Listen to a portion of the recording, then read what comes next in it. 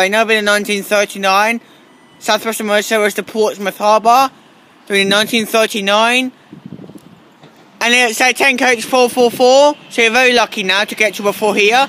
444018 at the front.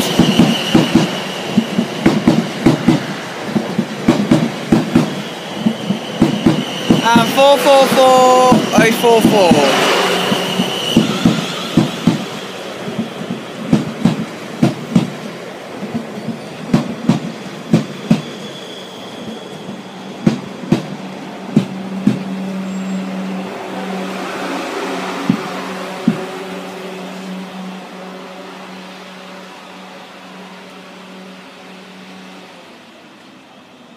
And spotting as well is the 1948 to London Waterloo.